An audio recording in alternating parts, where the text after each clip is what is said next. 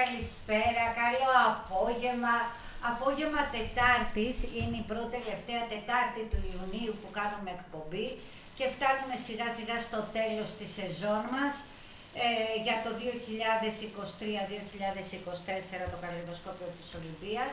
Την επόμενη εβδομάδα έχουμε ε, ε, δύο μουσικούς, ένα στιχουργό και ένα πιανίστα και θα κλείσουμε έτσι μουσικά και ωραία.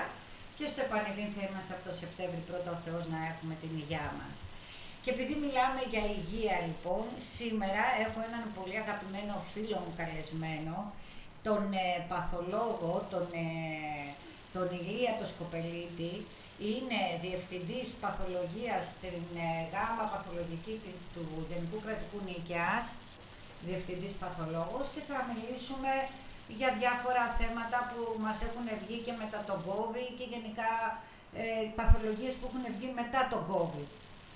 Ε, είναι, το θέμα υγείας είναι ένα ενδιαφέρον θέμα που θέλω να το ενσωματώσω την επόμενη σεζόν, να αφιερώσω κάποιες εκπομπές σε αυτό και να φέρνω επιστήμονες να συζητάμε για αυτά. Ε, τώρα πήγα να βάλω λίγη μουσική, αλλά για κάποιο λόγο δεν παίζει μουσική, δεν ξέρω γιατί. Για να δω, αυτό θα παίξει. Δεν ξέρω.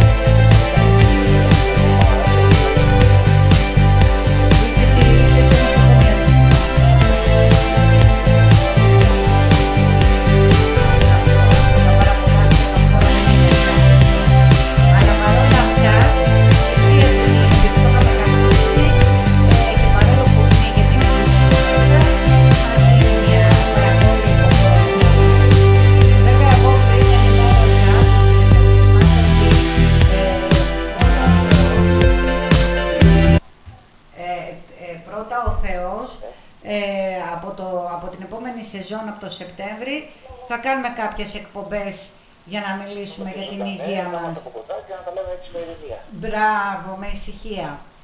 Λοιπόν, ο Ηλίας ο Σκοπελίτης είναι διευθυντής παθολόγος. Πες μας μερικά πράγματα για σένα, Ηλία, έτσι να σε γνωρίσουμε. Είναι ένα νέο παλικάρι. Είναι, δεν είναι 50, ε; Αλλά όχι, μην το πες, το 53. Ε, καλά μωρέ, για τρία χρόνια τώρα. Ε, Εντάξει, παρέμεινε. Πέντε και τρία, οχτώ χρόνων παιδί είστε. Ναι, οκ. Εγώ έτσι τα μετράω. Για πες μας δύο πράγματα για σένα. Λοιπόν, ε, τι να πω τώρα, κοιτάξτε, είμαι πάρα πολλά χρόνια στο ΕΣΥ, υπηρετώ από το 2006 στο κρατικό Νίκαιας. Μμμ. Να ξεκίνησα από επιμελητής Β, δια- διανύσαμε όλους τους βαθμούς και τώρα είμαι διευθυντής της ΓΑΜ Παθολογική Κλινική. Μία από τις ιστορικές κλινικές του νοσοκομείου. Έχω ένα ειδικό ενδιαφέρον και ενασχόληση με τις δηλώσεις και ειδικά σε νοσοκαταλμένους ε, HIV ασθενείς ε, και έτσι περίεργες ε, δηλώσεις ε, εφητεύσιμων υλικών ώστε μελίτιδες κλπ. Ε, και έχω και ένα μάστερ στην ταξιδιωτική ιατρική Στη, σε ποια; Σε ένα μάστερ που; Στην ταξιδιωτική ιατρική. Α, μπράβο, ναι, που μου το είπατε αυτό. Ναι, μου το είπες και είπαμε να κάνουμε μια εκπομπή μόνο για αυτό πρώτα ο Θεός από την καινούργια σεζόν. Θα είναι πολύ ενδιαφέρον. Είναι πάρα πολύ ενδιαφέρον. Εγώ πρώτη φορά το άκουσα από σένα ταξιδιωτική ιατρική και μετά μου πες εν ολίγης τι είναι, ναι. Ναι. Κοιτάξτε, στο εξωτερικό αυτό είναι ξεχωριστή ειδικότητα. Ναι. Ειδικότητα, την οποία δεν κάνουν μόνο οι γιατροί ή μόνο αυτοί που ασχολούνται με την κλινόξη, διότι τα ταξιδιωτική δεν είναι μόνο προετοιμάζοντα την επανέλευση, είναι προετοιμάζοντα το ασθενή να αντιμετωπίσει τα πάντα που μπορεί να συναντήσει σε ένα τέτοιο και σε ένα κατά ενό ταξιδιού. Ε, ναι, είναι και αυτά που λένε ένα τα μικρόβια, ένα η κοπέλα ή άλλη υπερ, η performance που έκανε τα αστεία, δεν πήγε να, κάνει, να δώσει παράσταση στην Κίνα, πήγε σε μια τουαλέτα, κόλλησε ένα μικρόβιο από εκεί και έμεινε παράλυτη για όλη της τη Είναι ζωή. Πάρα πολλά περιστατικά που κανείς πρέπει να φυλάγεται και δεν δίνει μια συνέχεια. Ε, Ξαναλέω ότι υπάρχει μεγάλη κουλτούρα στο εξωτερικό όμως κατά κύριο λόγο. Οι Έλληνες δυστυχώς δεν το έχουν αυτό και δεν βοηθάνε πάρα πολύ. Τώρα δεν ξέρω, ξεφεύγουμε λίγο από αυτά που θέλουμε να κουβεντιάσουμε σήμερα. Δεν βοηθάνε πολύ και τα γραφεία τα ταξιδιωτικά στην Ελλάδα. ώστε να πληροφορήσουν τον κόσμο και να, και να τους ενημερώνουν, ε. Δηλαδή θέλει να έχει συνεργασία και με τα ταξιδιωτικά γραφεία αυτό, να το προωθούν εννοείται. Συνεργασία με όλους τους φορείς. Δηλαδή τα ταξιδιωτικά γραφεία να μην θεωρούν ότι το να δώσουμε συμβουλή στον κόσμο να προετοιμαστεί σε ένα ειδικό ιατρείο είναι εις βάρος τους, ίσα ίσα που είναι υπέρ τους. Θα είναι ένα εμπόδιο για τον κόσμο. Και ξέρετε, ε, βλέπω πάρα πολλού και το βλέπω και μέσα από του συναδέλφου ε, στον, σε ένα μεγάλο νοσοκομείο, και δεν εννοώ μόνο του γιατρού, εννοώ όλο το προσωπικό, ότι όλο και περισσότερο οι προορισμοί στου οποίου πηγαίνουμε είναι και πιο εξωτικοί, πιο περίεργοι. Μπράβο, ναι. Όλα, όλα τα ταξίδια πρέπει να είναι πολύ προσιτά στον κόσμο. Ο, αλλά όμω αυτό και όλη αυτή η κυκλοφορία ε, παγκοσμίω δημιουργεί νέα δεδομένα. Να πω κάτι, κάπως έτσι δεν μας ήρθε και ο COVID, από μια άλλη χώρα δεν μας ήρθε, από μια άλλη κουλτούρα. Και για να μην πω ότι και όλοι με το κομμάτι των μετακινούμενων πληθυσμών βάζω μέσα και τους πρόσφυγες. Και το κομμάτι της κλιματικής αλλαγής είναι και αυτό μέρος της ταξιδιωτικής ιατρικής. Ε, βέβαια, Έτσι. κατάλαβα. Έχουμε πάρα πολλά να κουβεντιάσουμε. Βέβαια, εγώ σήμερα είπαμε να εστιαστούμε έτσι επειδή είναι και στις παθολογίες που βρήκανε τα οι παθο- παθολογικά αίτια που βγήκανε μετά τον COVID. Δηλαδή εγώ ας πούμε ε, άρχισα να έχω εμβοές, άρχισα να έχω... Ε, είχα οχρά κοιλίδα που ήταν κληρονομικό και ξύπνησε και έφτασε να είμαι σαν να είμαι 70 χρονών τώρα. Δηλαδή τόσο που γρήγορα προχώρησε. Όταν πήγα λοιπόν στον παθολόγο και του είπα ότι έχω εμβοές, έχω, η, η μικρή μου πίεση είναι πάντα 10, 11, 12, πάντα η μικρή, δεν ξέρω γιατί, έχω ταχυκαρδίες και αυτά, μου λέει «Α, καλώς ήρθες στους νευρωτικούς του COVID». Ισχύει αυτό. Λοιπόν, κοιτάξτε, δεν είναι θέμα η νευρωτική του COVID. Υπάρχουν ε, δύο γενικά συμπεράσματα. Πρώτον, ότι μετά το COVID ξυπνήσανε πάρα πολλές ασθένειες Αυτό. Που αναδύθηκαν στην επιφάνεια και αυξήθηκε η συχνότητά τους. Τώρα αυτό έχει και δεν έχει εξήγηση σε όλες τις φορές. Και δεύτερον, υπάρχει και το λεγόμενο long COVID. Το οποίο αλλάζει ορισμούς, αλλάζει συγγνώμη, ορισμούς κάθε τόσο. Δηλαδή, και βέβαια καμιά φορά ενώ το είχαμε λίγο έτσι υποεκτιμήσει, Ναι, μπράβο. Εγώ το άκουγα και ναι, γέλαγα. ναι, Λέω ναι, σιγά τι ναι, είναι. Της μόδας και του σειρμού και έχουμε αρχίσει να το υπερεκτιμάμε. Δηλαδή ότι παθαίνει κάποιος το αποδίδουμε σε long COVID. Ναι. Τώρα να σου πω, παράδειγμα, έπαθα COVID τώρα και έξι μήνες μετά παρουσιάζω μια βαριά κατάσταση. Και ενδιάμεσα δεν ήμουν και πάρα πολύ καλά. Είχα κάποιες διαταραχές του συναισθήματος, δεν ήμουν πολύ ζωηρός, αισθανόμουν κόπωση.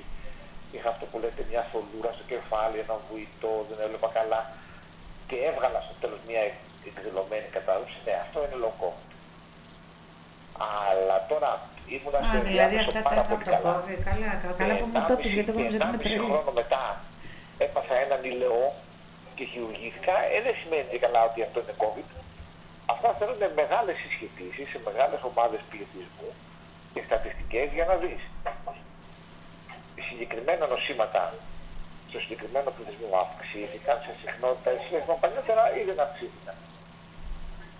Ας πούμε αυτό που όλοι παθαίνουν μυοκαρδίτιδα, όλοι παθαίνουν... Ναι, αυτό ναι, έχουν αυξηθεί πάρα πολύ και είναι τεκμηριωμένο πλέον ότι κάποιους μήνες μετά μπορεί να συμβεί μόνο μυοκαρδίτιδα και ό,τι έχει σχέση με καρδιακό κίνδυνο μπορεί να ανέβει στο διάστημα των μηνών που ακολουθεί μια COVID Και δε όσο πιο βαριά την περάσουμε, τόσο μεγαλύτερος και κίνδυνος. Δηλαδή αυτά είναι από τον COVID ή είναι από τα εμβόλια που κάναμε; Τι από τα δύο; Επίσης, θα σου πω, όπως επίσης έχουν αυξηθεί η συχνότητα διάγνωσης νέων ε, καρκίνων, νεοπλασιών. Αυτό ήθελα να σε ρωτήσω. Ναι, στο, και πάρα πολύ διαβάζω στο παχύ έντερο και τέτοια. Αν δείτε τα στατιστικά, το 20 ήταν η αρχή της επιδημίας. Χ νούμερο; Το 21 δύο χ. Το 22 ένα χ. Είναι εκθετική αύξηση δηλαδή και συνεχίζεται η άνοδος μέχρι ακόμα και τώρα, μέχρι το 24 που μιλάμε. Αυτό τι είναι, δηλαδή ότι μας ξύπνησε... Το μας... σαν φαινόμενο. Ναι, το, μας ξύπνησε, το είδα και το διάβασα και αυτό που λέτε, ότι ε, πάρα πολλοί νέοι τους χτυπάει καρκίνος στο στομάχι και το παχύ έντερο στα παιδιά. Δεν ξέρουμε αυτό τι είναι.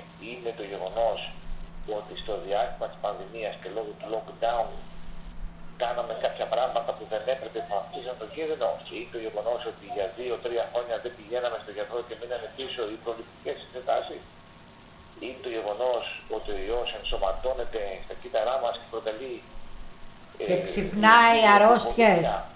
Κανένας δεν ξέρει. Πάντως το μόνο σίγουρο είναι ότι σύμφωνα με την στατιστική, αυτή δεν λέω εγώ, ότι τα mRNA εμβόλια δεν μπορούν να κάνουν τέτοια, τέτοια αποτελέσματα, διότι δεν έχουν τη δυναμική. Το mRNA μετά από λίγο ξεφθυμαίνει μέσα στο κύτταρο, δεν ενσωματώνεται, οπότε δεν έχει δυνατότητα να πυροδοτήσει κάτι. Άρα δεν είναι από τα εμβόλια. Η πρόσκαιρη αυτοανουσία δεν έχει δυνατότητα να πυροδοτήσει ένα καρκίνο δύο χρόνια μετά.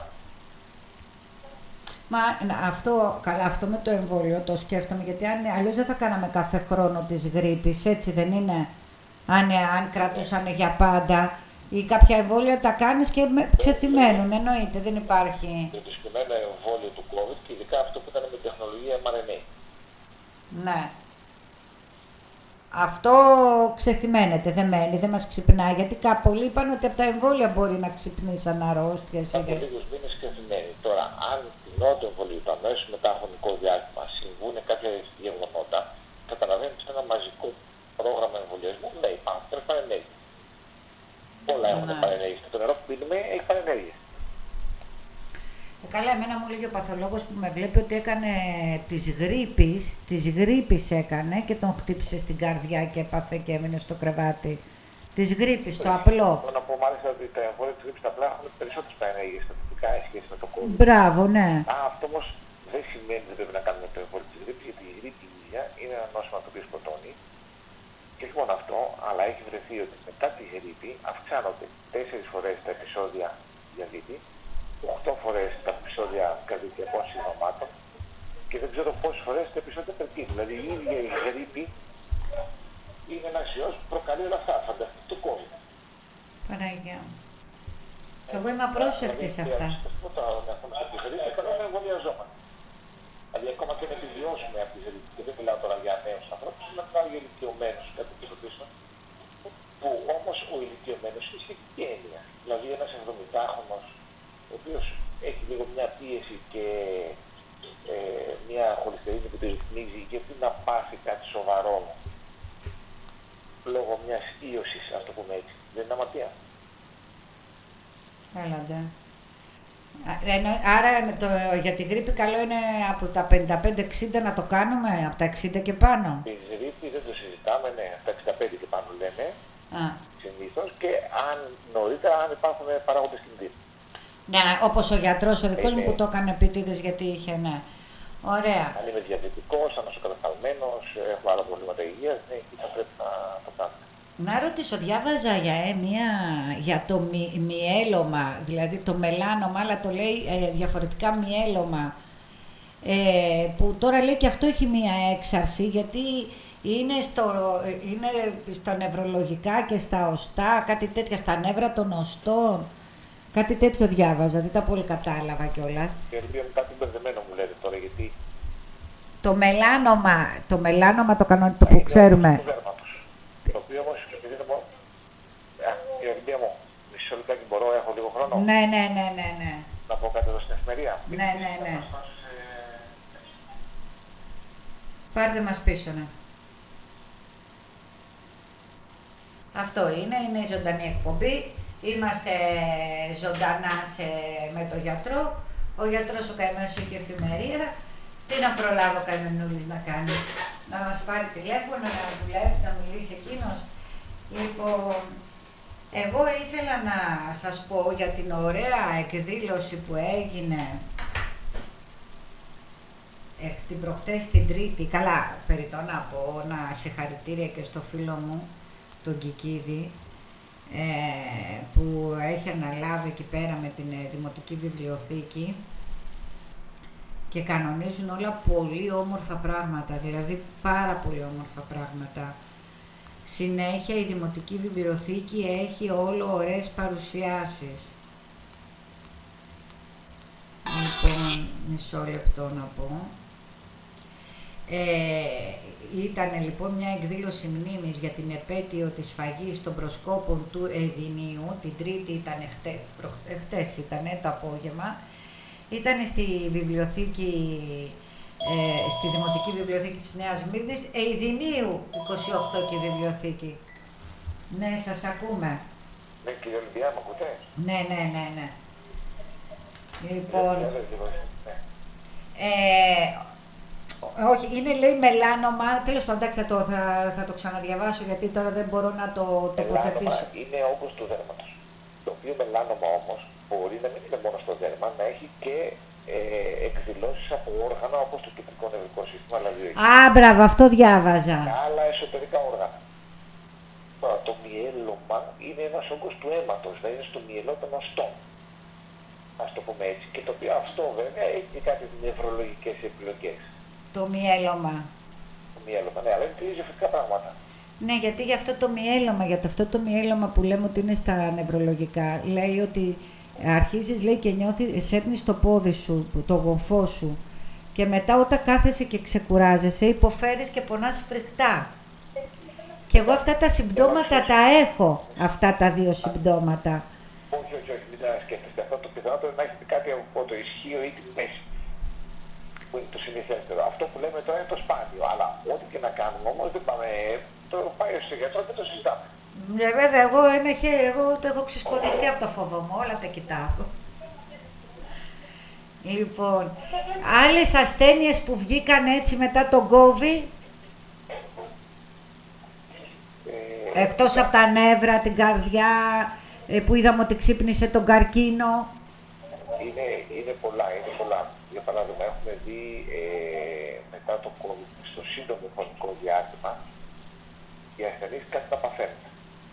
Όταν λέω σύντομο, εννοώ εντό του πρώτου εξαμήνου, άντε βαριά-βαριά μέχρι τον πρώτο χρόνο. Ναι.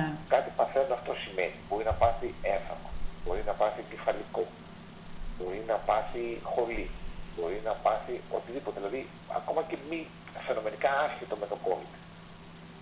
Εγώ πάντως δύο φορές κόλλησα κόβη και τις δύο ήμουνα χωρίς πυρετό, μόνο τη δεύτερη φορά πήγε να σπάσει. Πραγματικά λες και είχαν πάρει σφυριά και μου βαράγανε το κεφάλι. Και δεν πέρναγε ούτε με παυσίπονο ούτε με τίποτα. Και ένιωθα αυτό για μία μέρα. Ε, και μετά προχώρησε ξύπνηση ο λίδα αυτό. Δηλαδή αυτό αναπτύχθηκε πάρα πολύ, γρήγορα. Έτσι, ισχύει αυτό. Ο ιός αγαπάει πάρα πολύ το, τα κύτταρα του κεφάλου. Αμάν. Οπότε προκαλεί πολλές επιπλοκέ από εκεί. Μπορεί να κάνει διαταραχέ μύτη. Μπορεί να κάνει, όπως είπαμε, κατάθλιψη και άλλα ψυχικά νοσήματα. Τα άπαθα όλα αυτά, άρα είναι από τον κόβι όλα αυτά που είχα, όχι ότι είμαι εγώ τρελή κυκλοθυμική. Και είχα αρχίσει να με μαλώνω. Ακόμα και άνοια μπορεί να προκαλέσει. Το οποίο αυτό δεν έχει εκδηλωθεί. Ακόμα θα εκδηλωθεί σε ένα χρονικό διάστημα σε βάθος χρόνου. Παναγία μου. Και κυρίως έχουμε δει και ένα κομμάτι ε, ασθενών στη, στη μεγάλη έξαρση της πανδημίας, το οποίο εκδηλωνόταν με πρώτη εκδήλωση ε, μία ας το πούμε εγκεφαλίτιδα. Που δεν είναι μυοκαρδίτιδα, είναι και Ναι, εγκεφαλίτιδα. ναι, ναι, είναι ναι, μόλις μπράβο, του ναι. εγκεφάλου. Χωρίς να έχει αναπνευστικό πρόβλημα άρρωστος. Να. Και άνθρωποι 25 χρονών ίωση, είναι έτσι όπως όλες οι ίωσες που έχουν εγκεφαλίτιδα.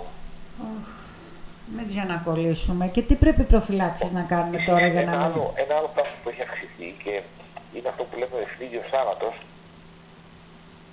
ε, μετά το COVID μέχρι και τέσσερις φορές λένε κάποιες αναφορές και μάλιστα πρόσφατες και τα μελέτες του 24 έχουν δείξει κάτι τέτοιο μετρώντας ε, πληθυσμούς εκεί όπου γίνονται καταγραφές σε κράτη που έχουν πολύ, καλό, και πολύ καλή βάση δεδομένων και λένε παράδειγμα εμείς αναμέναμε για τον πληθυσμό μας φέτος ξέρω εγώ 5.000 individuals out και είδαμε 25.000 τι γίνεται εδώ; Κάτι συμβαίνει. Και βρήκανε λοιπόν ότι όλοι αυτοί είχαν περάσει το προηγούμενο διάστημα COVID κλίμαξη. Οπότε έτσι κάπως τεκμηριώνεται αυτό το πράγμα. Που βέβαια αυτό δεν μπορεί να το αποδώσει κανείς στα εμβόλια που λέει κομμάιδες μας έκαναν τα εμβόλια και πέφτουν στις λίγες. Αλλά όσο στη νόσο αυτή καθ' αυτή. Α, μα αυτό πρέπει να το διευκρινίσουν όμως, γιατί πολλοί κόσμος σου λέει, δηλαδή και άνθρωποι που κάνανε και τρίτο και τέταρτο εμβόλιο, που ξέρω εγώ κυρίες από την εκκλησία και αυτά, ε, και πα, κολλήσανε και κόβει και σου λένε ότι κάναμε τα εμβόλια, αρρωστήσαμε κιόλας, πάθαμε και την καρδιά μας, πάθαμε και το ένα, πάθαμε και το άλλο, δηλαδή Και αυτό να σου πω κάτι. παραπονιέται ο κόσμος. Ξέρετε ποιο είναι το πρόβλημα; Ότι όλοι αυτοί οι οποίοι ε, εμβολιαστήκαν ταυτόχρονα αρρωστήσανε κιόλας. Ενώ όχι την ίδια περίοδο, αλλά ε, οι περισσότεροι και κολλήσανε και το περάσανε. Απλά το περάσαν ανώδυνα όσοι είχαν κάνει εμβόλια. Δεν πήγανε με πυρετό και δεν μπήκαν εντατική. Όχι απαραίτητα, κάποιοι το περάσανε και βαριά. Ειδικά μετά τις πρώτες δύο δόσει του εμβολίου, όταν έγινε πολύ μεγάλη έξεση του COVID, υπήρχαν άσθενοι που ήταν εμβολιασμένοι. Ναι, τότε ήταν, ναι, ήταν αυτό που λέγαμε γιατί... Ναι. Όμως, όμως είχαμε λιγότερο διασυνδρόμου, λιγότερο θανάτους. ναι. Αυτό είναι σημαντικό. Αλλά μας αφήνει κουσούρια δηλαδή. Μπορεί να περάσει τον COVID, να, να, να μην έχει συμπτώματα και να σου αφήσει κουσούρι όμως. Να σου βγάλει κουσούρια. Σίγουρα. Σίγουρα. Ξέρετε, δεν είναι μοναδικό ιό που το κάνει αυτό. Και άλλοι οι τέτοιου βενινεκού, ας πούμε, αφήνουν. Εγώ τώρα διάβαζα στο ίντερνετ, αχ αυτό το ίντερνετ που μου, κα- τι μου κάνει. Διάβαζα καλά την ευλογία των πυθίκων. Υπογονιμότητα μπορεί να κάνει έτσι. Τι κάνει; Ακόμα και υπογονιμότητα μπορεί να κάνει. Να μην μπορείς να γεννήσεις. Ναι, και για του άντρε και για τι γυναίκε. Ναι, ναι. Και στήση έγραψε για τους άντρες, διάβαζα. Ακριβώς, ακριβώς. Τώρα λέει στην Ιαπωνία είναι ένα καινούριο μικρόβιο Ναι, που σου τρώει λέει τα κύτταρα λίγο-λίγο. δεν ξέρω ποιο εννοείται. Τώρα λέει έχουν πεθάνει λέει δεν ξέρω 200 άτομα. Το διάβαζα το πρωί στο, στο Google, Ναι. στις ειδήσεις.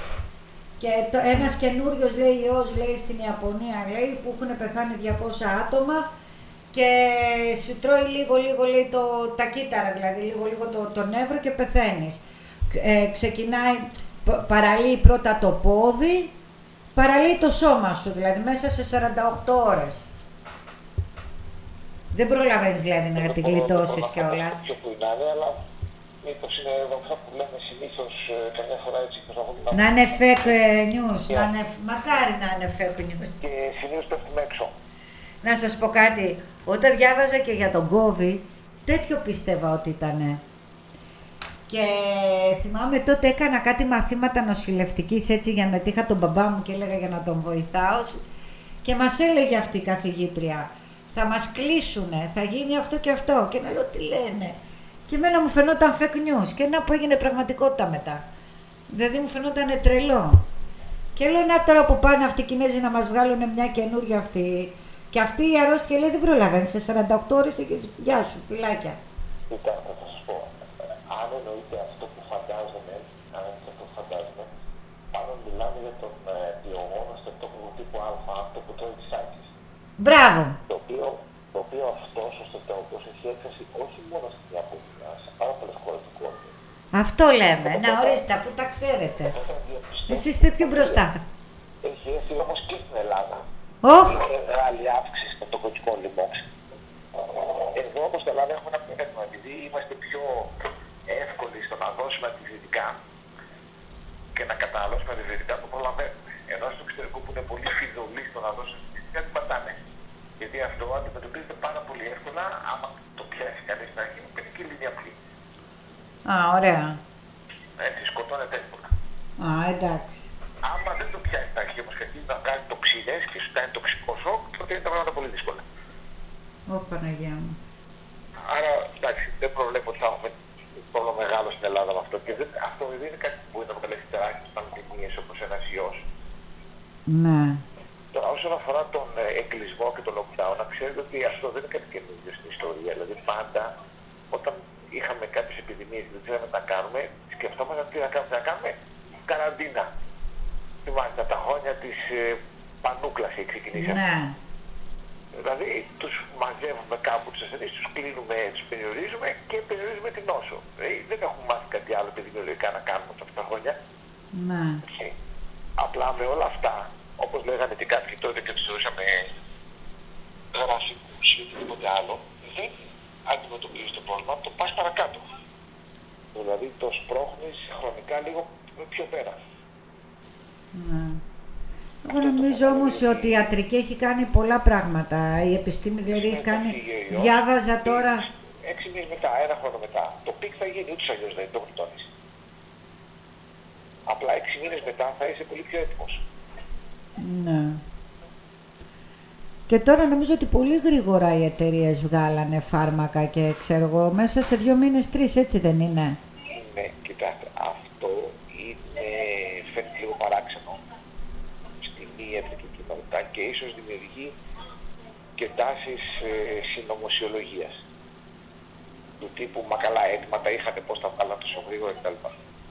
Θα σου Όχι, πω εγώ αυτό. πιστεύω ότι τώρα είναι περισσότεροι οι επιστήμονες, περισσότερα τα εργαστήρια, Φανταστείτε, Ναι, ακριβώς. είναι περισσότερα τα χρήματα, δεν είναι όπως κάποτε που για να πήγαινες με το ταχυδρομείο το γράμμα, κακα- είναι διαφορετικά τώρα όλα αμέσως στέλνονται, έτσι δεν είναι; Υπάρχουν πολλά πράγματα, αλλά κοίταξε τι γίνεται. Φανταστείτε τώρα πόσοι πόροι, πόσα χρήματα, πόσα εργαστήρια, όπως είπατε και εσείς, πόσο δηλαδή ε, υλικό ανθρώπινο και εργαστηριακό υλικό αξιοποιήθηκε στο COVID. Δηλαδή όλοι πέσανε πάνω στο COVID.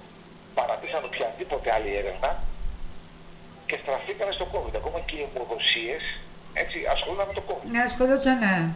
Λοιπόν, οπότε τα δισεκατομμύρια των δισεκατομμυρίων που πέσανε από τις κυβερνήσεις αφενός, η συστράτευση όλων των επιστημόνων, χιλιάδων στην δεξιά, από εκατομμυρίων παγκοσμίως. Και η χρήση τεχνολογιών που ήταν ήδη στα σκαλιά. Δηλαδή τα mRNA εμβόλια δεν τα ανακαλύψαμε τώρα το COVID πρώτη φορά, τα δοκιμάζαμε δεκαετίες πριν. Από το έμπολα, τα ξέραμε. Αυτά να τα πείτε σε αυτούς που κάνουν συνωμοσίες και σου λένε ότι τώρα, τώρα τα θυμηθήκανε τα μωράκια και τα κύτταρα. Όταν τα βάζουν και κάνουν μπότοξ, δεν τα βάζουν τα μωράκια. Ε, βέβαια. Ε, βέβαια, έτσι είναι. Και εντωμεταξύ μου τη δίνει που βγαίνανε κάποιες σε βιντεάκια που το παίζανε αντιβολίστριες, τσίτα στο μπότοξ. Μα το μπότοξ δεν ξέρεις ότι η κοπέλα μου έχει μωρά, κύτταρα. τα αντιϊκά φάρμακα, θα σας πω, τα αντιϊκά φάρμακα τα οποία βγάλαμε στο COVID, τι κάνανε, ήταν γνωστά φάρμακα που τα είχαμε για, άλλες, ε, για άλλους ιούς, όπως ο ιός υπατήτητας. Και σου λέει, να το δοκιμάσουμε εκεί. Μμμ. Τώρα, η δυσκολία του να κάνεις μια κλινική δοκιμή είναι ότι πρέπει να βρεις πολύ κόσμο που δεν τον έχεις. Έτσι, παράδειγμα, θέλεις να δοκιμάσεις ένα καινούργιο φάρμακο για τον πνευμονιόκοκο. Πόσους θα βρεις σε μια χώρα να μαθαίνουν πνευμονιόκοκο κάθε χρόνο; Θα βρεις, ξέρω εγώ, χίλιους, αν είσαι τυχερός. Έτσι. Φανταστείτε ότι στο COVID είχαμε χιλιάδες περιστατικά μέσα σε πολύ μικρό χρονικό διάστημα. Οπότε είχαμε, είχαμε να επιστρατεύσουμε κόσμο στις μελέτες. Άρα αυτό τα μαθηματικά τα βοηθάει. Δηλαδή, εγώ μια μελέτη που ήθελα με 2.000 άτομα να τη βγάλω στα 5 χρόνια, με 200.000 άτομα τη βγάζω τη μελέτη σε 5 μήνες. Να το πω έτσι χοντρικά. Έτσι, μπράβο. Οπότε να προσχύγει αμέσως αμέσως και έγινε κλινική δοκιμή και ολοκληρώθηκε. Θα μου πεις 200.000 άτομα, πού βρήκες τα λεφτά; Μα πέσανε τα δισεκατομμύρια. Καλά, πέσανε, εντάξει, δώσανε και οι κυβερνήσει δώσανε και Μα όλοι έτσι, έτσι δώσανε. βγήκαν τα φάρμακα. Άμα ήταν με τον κλασικό τρόπο που βγαίνει ένα καινούριο φάρμακο, τι του σε 10 χρόνια δεν θα βγαίνει. Αυτό τώρα με τα φάρμακα, είδαμε ότι και πολλά φάρμακα έχουν καταργηθεί. Δηλαδή, ποιο φάρμακο ήταν για το στομάχι που το έχουμε πάρει όλοι και εν τέλει βγήκε ακατάλληλο. Ε, ε πολλά φάρμακα έχουν. Ναι, και σε μακροχρόνιες ε, χορηγίες και θα έλεγα ότι αυτό είναι κάτι που ήταν γνωστό παλιά. Ναι. Δεν νομίζω ότι είναι κάτι καινούργιο, απλά τώρα ε, ξέρετε γίνανε μηνύσεις στην Αμερική και όταν γίνονται μηνύσεις στην Αμερική αρχίζει και φοβούνται μετά. Αχα. Ξέρετε πόσα φάρμακα είναι φάρμακα, όπως το λέμε, δηλαδή προκαλούν παρενέργειες.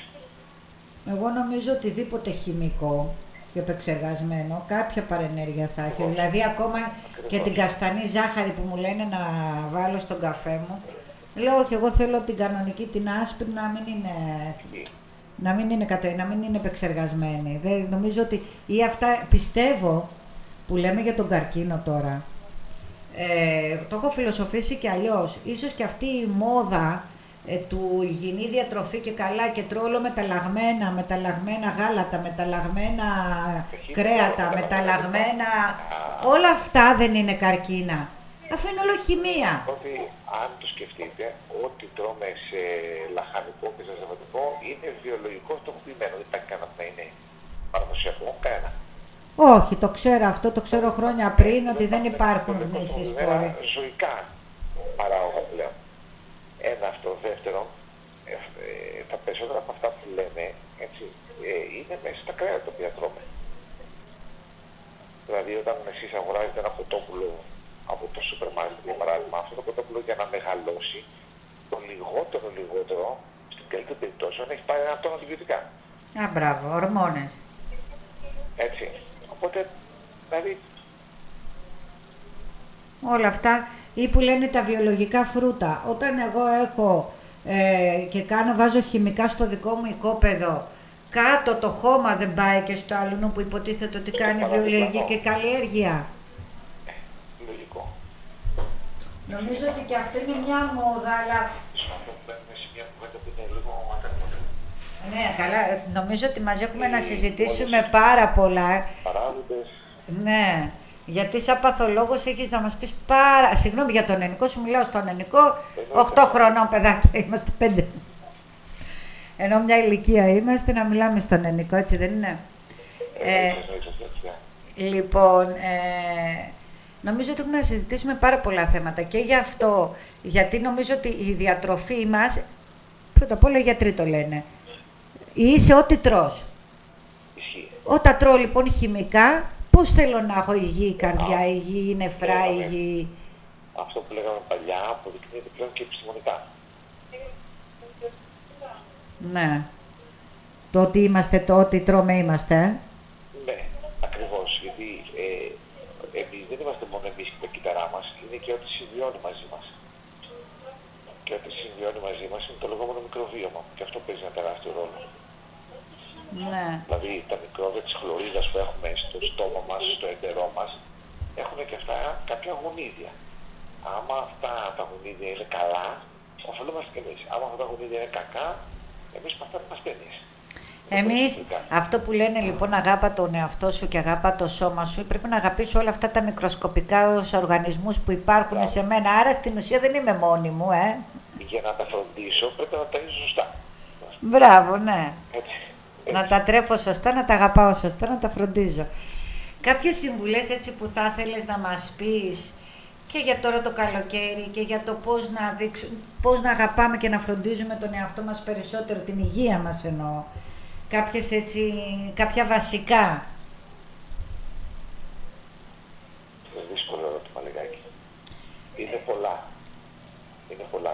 Το ένα είναι ότι πρέπει να κάνουμε, ε, να αποκτήσουμε κουλτούρα πρόληψης.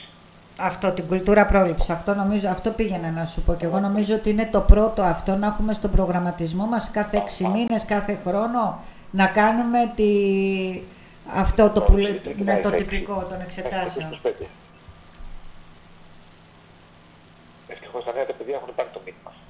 Ναι, και το κάνουν, ε. Δηλαδή, μόνο σε εμάς που είμαστε στην ηλικία και στην γενιά που δεν το είχαμε συνειδητοποιήσει τότε, κάναμε όλες τις καταχρήσεις και τώρα αρχίζουμε και το παίζουμε υγιεινή διατροφή. Ευτυχώς τα νέα τα παιδιά το έχουν... Το κάνουν από μικρά τα παιδιά. Ίσως βοήθησε όμως και το σχολείο. Δηλαδή, εγώ θυμάμαι τρώγα γαριδάκια και ήμουν 23 χρονών μάνα και ο γιος μου πήγαινε στο σχολείο και ερχόταν και μου έλεγε «Μαμά, κοίτα την πυραμίδα της διατροφής». Και εκείνος δεν έτρωγε γαριδάκια, έτρωγε ένα φρούτο, έτρωγε ένα μήλο, ένα κάτι άλλο. Δεν, του, δεν, δεν έφαγε ποτέ. Ο γιος μου δεν έχει φάει ποτέ γαριδάκια Πάρα πολύ και τέτοια πράγματα. σωστό. Πάρα πολύ σωστό. Και με μάθαινε εμένα να τρώω υγιεινά. Βέβαια. Και δεν είναι μόνο η διατροφή, είναι όλα τα πράγματα που μπορεί να κάνει.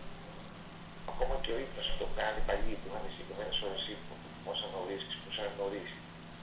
Ε, όλα αυτά παίζουν ένα ρόλο. Αυτό πάλι με τον Κατά ύπνο. το να διασκεδάζουμε, το να χαιρόμαστε, το να πηγαίνουμε σε ένα γάμο, σε ένα πανηγύρι και να, να λεντάμε, στο να περνάμε καλά. Και αυτό παίζει ρόλο. Η αποφυγή των καταχρήσεων. Όλα τα νεκρά. Δηλαδή, αλκοόλ. Γιατί πολύ αλκοόλ. Κάπνισμα. Και το ίντερνετ και η καθιστική δουλειά Όλα, όλα, και όλα. όλα δηλαδή και το... Και, Και... και οι οθόνες και ο πλεφωτισμός Ναι. και η εκπαιδευτία και η γρήγορη αλλαγή εικόνων και ο εθισμός με τα social media, όλα αυτά είναι μετρήσιμες βλάβες στην υγεία. Πώς το λέω βάσει μελετών. δηλαδή. Μας επηρεάζουν. Εγώ βασικά έχω δει ότι με το, αυτή η συνήθειά μου που δεν μπορώ να την κόψω, με το που ανοίγω τα μάτια μου, ανοίγω και το λάπτοπ και ανοίγω το Google να δω τις ειδήσεις, ε, είναι ότι χειρότερο. Οπότε το κάνω. Το πρώτο που θα κάνω ξυπνάω λίγο το κινητό. Φτιάχνω δηλαδή το ελληνε... Φτιάχνω τον ελληνικό μου το πρωί και πίνοντάς τον χαζεύω τις ειδήσεις. Αλλά όχι πριν το ελληνικό, ανοίγω τα μάτια στο κρεβάτι, δεν λέω πάω το κινητό για να δούμε ποιο μας έστειλε. Λοιπόν, τι έγινε, Όχι, αυτό δεν με νοιάζει. Εμένα με πόσα like πήρα Αυτό μας έχει σκοτώσει λιγάκι και μας έχει απομονώσει. Άλλη συζήτηση κι αυτή. Άλλη συζήτηση. Νομίζω λοιπόν, ε, Ηλία μου, ότι τώρα που γνωριστήκαμε, τος, Σ- από το Σεπτέμβρη και μετά, να το προγραμματίσεις και εσύ θες κάθε δύο μήνες, κάθε τρεις μήνες να έχουμε μία εκπομπή κάθε μήνα; Θες να κάνουμε κάθε μήνα, να το βάλουμε σαν στήλη κάθε μήνα, μια φορά το μήνα; Να μιλάμε και να αναπτύξουμε διάφορα θέματα που μας ενδιαφέρουν. Αυτό για, τους, για την ταξιδιωτική ιατρική, αυτό που είπες, είναι πάρα πολύ ενδιαφέρον, γιατί ε, εγώ έχω πολλούς φίλους και περιστατικά που, δηλαδή, ε, ε, πήγανε ταξίδι στη Γαλλία και κόλλησε ένα ένζ- ένζυμο που πήγε να πεθάνει. Και αν ήταν εδώ θα πέθαινε. Ευτυχώς που ήταν στη Γαλλία και σώθηκε. Ε, πήγε ο άνθρωπος, μπήκε εντατική, από ένα κρασί που ήπια. Ναι, ισχύει, ισχύει αυτό, ισχύει. Ήταν ένα, λέει, ένζυμο τι ήταν που του άλλαξε τα φώτα. Και όχι μόνο αυτό, να φανταστείτε και εντός Ελλάδας, παράδειγμα, πήγα ένα ταξίδι στην Τιλίνη στοιχείο, που είναι εντός Ελλάδος. Αλλά αυτό το συγκεκριμένο ηχείο έχει πάρα πολύ κατανάλωση. Ναι, Άρα στην ουσία είναι σαν να πήγα ταξίδι στο Πακιστάν. ναι, ναι, ναι. Έπεσα. Ε, Και θα χαρώ πάρα πολύ στη σειρά αυτή που παρουσιάσω, να έρθουν μια φορά και οι συνεργάτες μου που ο καθένας έχει... ένα Εννοείται, τομέα. εννοείται, εννοείται. Εσύ, λοιπόν, έτσι θα το κάνουμε. Θα μας φέρνεις τους συνεργάτες σου. Ναι, ναι, Μπράβο, που θα αναπτύσσουμε τα... Πολύ ωραία. τα πράγματα. Μπράβο. Και έτσι να μάθουμε κι εμείς πολλά πράγματα και ο κόσμος να μάθει. Γιατί τα λένε όλα επιστημονικά, τα λένε με πιο απλό τρόπο να τα, να τα ακούσουμε και να τα μάθουμε. Λοιπόν, θέλω να σε ευχαριστήσω. Έχεις να μας πεις κάτι άλλο; Να προσέχουμε. Να προσέχουμε. Να προσέχουμε για να έχουμε. Να προσέχουμε για να έχουμε και να κάνουμε... Η πρόληψη λοιπόν σώζει. Αυτό είναι μεγάλο μυστικό. Ακριβώς, ακριβώς αυτό. Μεγάλο μυστικό η πρόληψη. Το, ο καλός ύπνος. Κάπου διάβασα λέει ότι για να ζήσεις πολλά χρόνια πρέπει να έχεις και καλούς φίλους. Ισχύει. Καλούς. Καλούς φίλους. Μας επηρεάζουν στην ψυχολογία. Και αυτό ισχύει. Και αυτό ισχύει. Και θα σου το πω την άλλη φορά, άμα ήρθα, δείτε τεκμηριωμένα πώς ε, υπάρχουν. Πολύ ωραία. Θέλω να σε ευχαριστήσω για πάρα πολύ όμως, γιατί κανονικά δούλευες και μας αφοσίωσες σε αυτή τη μία ώρα. Σε ευχαριστώ πάρα πάρα πολύ. Καλή δύναμη στο έργο σου, γιατί πραγματικά οι γιατροί, οι νοσηλευτές, όλοι αυτοί για μένα ναι, είναι ε, ο Θεός ρε παιδί μου και οι Άγιοι δεν μπορούν να κατέβουν να μας γιατρέψουν και έχουν κάποια χέρια. Θα είναι καλά και να μην έχει ανάγκη να έρχεται. Αλλά δυστυχώς όμως Και αυτά τα χέρια νομίζω ότι είναι γιατροί, νοσηλευτές, αυτά τα χέρια είναι. Τα χέρια του Θεού είναι. Έτσι δεν είναι; Πιθανό, πιθανό. Λοιπόν, σας ευχαριστώ πολύ, πολύ, πολύ. Καλό καλοκαίρι να έχουμε. Καλό βράδυ, καλό καλοκαίρι να έχουμε. Και θα τα πούμε από το Σεπτέμβρη. Χίλια ευχαριστώ. Να είστε καλά. Να είστε καλά. Πολύ ωραία και, και νέο παιδί, με όραμα δηλαδή. Και βέβαια, όπως μαθαίνουμε και καινούργια πράγματα, είδατε, ασθένειες, ταξιδευτικές ασθένειες που δεν τις ξέραμε. Λοιπόν, σταμάτησα να διαβάζω όμως για την επιτυχημένη ε, εκδήλωση που έγινε στη βιβλιοθήκη. Η έκθεση... Αχ, Θεέ μου, πάλι πρέπει να μπω τώρα. Πώς έφυγε το τηλέφωνο μου. Ό,τι θέλει κάνει. Ε, η Δημοτική Βιβλιοθήκη Νέας Μύρνης κάνει πάρα πολύ ωραία πράγματα και καλό είναι να μπαίνετε στην ιστοσελίδα του Δήμου και να βλέπετε γιατί κάνουν πολύ ωραία πράγματα. Θέλω όμως να ξαναπώ για την σφαγή των προσκόπων του ε, ε, Ιδονίου. Άκουρε παιδιά, και Ιδονίου 28 ήταν η βιβλιοθήκη που έγινε η εκδήλωση. Τυχαίο, δεν νομίζω. Λοιπόν, είναι με, ε, με μια αφορμή του μυθιστορήματος του Κώστα Τσοφόρου, πολύ αργά για το Αιδόνι, που κυκλοφορεί από τις εκδόσεις Αρντεών. Μίλησαν ο Θόδωρος Ντάντος, ο πρόεδρος του Πανιωνίου Γυμναστικού Συλλόγου Σμύρνης, ο Νικόλαος ε, Παραδείσης, τέος αντιπρόεδρος Διοικητικού Συμβούλου το Σώμα των Ελλήνων Προσκόπων, συγγραφέας του βιβλίου «Ο προσκοπισμός στις αλυσμόνητες πατρίδες» 1919-1922 και ο συγγραφέας ο Κώστας Στοφόρος. Την εκδήλωση συντόνισε ο Λάζαρος Κικίδης, Δημοτικός Σύμβουλος της Νέας Μύρνης και υπεύθυνος της Δημοτικής Βιβλιοθήκης. Που μπορώ να πω ότι ο Λάζαρος έχει κάνει φοβερά πράγματα, κάνει συνέχεια ωραία πράγματα. Μπράβο, Λάζαρε, συγχαρητήρια, γιατί είναι ένα νέο παιδί που έχει όρεξη. Να πω ένα μεγάλο συγχαρητήρια στη φιλενάδα μου την Εύα Τηλιανού την Πετροπούλου που όλο κάνει ωραία πράγματα και με συγγραφή του εξωτερικού και τι να πω, κάνει πολύ ωραία πράγματα και εκείνη συνέχεια.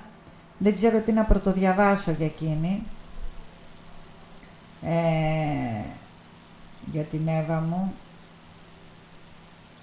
Μισό λεπτό. Η Εύα Λιανού Πετροπούλου. Μετά που βοήθησε πάρα πολύ για την ημέρα του Καβάθη, τώρα εδώ, μου τα γράφει και αγγλικά. Πού να ξέρω εγώ τώρα να τα κάνω μετάφραση; Για να δω εδώ τη μετάφραση.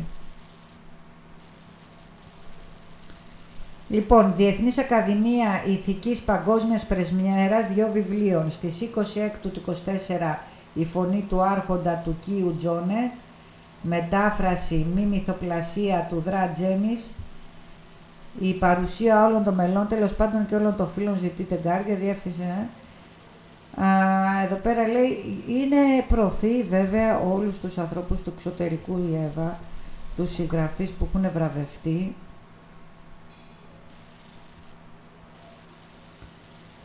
Ε,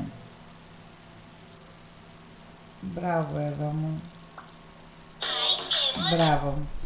Λοιπόν, ίσως της κάνω μια τηλεφωνική συνέντευξη πάλι της Εύας να μας πει για αυτά τα ωραία πράγματα που κανονίζει, γιατί μου αρέσει που έχει ανοίξει γέφυρες με το εξωτερικό και σε ένα κομμάτι της λογοτεχνίας και της ποίησης. Να σας ευχαριστήσω κι εγώ λοιπόν. Την, ε, έχω κάτι να πω για το Σάββατο, έχουμε κάτι να κάνω το Σάββατο, κάποια εκδήλωση και δεν θυμάμαι. Δεν θυμάμαι τίποτα τώρα. Μετά που θα πάω σπίτι θα μου έρχονται τα μηνύματα και θα ξεχάσω ότι τα είπα να σας προσκαλέσω. Λοιπόν, καλό βραδάκι να έχουμε, καλοκαιράκι και όλας τώρα και μας πιάνει ζέστη και θέλουμε να πάω να πιούμε και ένα καφεδάκι, μια πορτοκαλάδα. Με το καλό την άλλη εβδομάδα πρώτα ο Θεός να έχουμε την υγειά μας και να έχουμε την επόμενη εβδομάδα το πιανίστα, το συμπολίτη μας, ένα νέο παιδί, ένα νέο ταλέντο και ένα στιχουργό που έρχεται από τη Λάρισα για να μας τιμήσει με το έργο του. Θέλω να σας ευχαριστήσω πολύ. Ευχαριστώ που είστε εδώ μαζί μου και με στηρίζετε. Και μην ξεχνάμε να ετοιμαζόμαστε για 29 του μήνα για τους Κρήτες. Μην μου το ξεχάσετε και αυτό για το γλέντι, το κριτικό. Δεν έχω να πω κάτι άλλο. Σας ευχαριστώ. Τα λέμε την επόμενη εβδομάδα. Φιλάκια πολλά.